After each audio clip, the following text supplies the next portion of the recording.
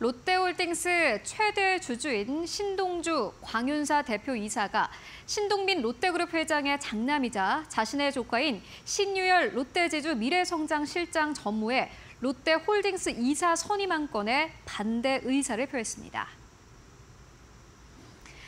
롯데가 3세라는 이유만으로 아직 경영 능력이 전혀 검증되지 않은 데다가 신동빈 부자의 롯데그룹 사유화가 한층 더 심해질 것이 우려된다는 이유에서입니다.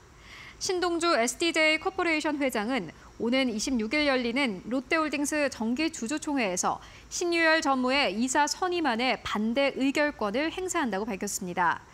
신동주 회장은 한일 롯데그룹의 경영 방향성이 중요한 현 시점에서 최고 의사결정기구인 이사회에 경영 능력이 검증되지 않는 인물이 합류하는 것은 적절치 않다고 말했습니다.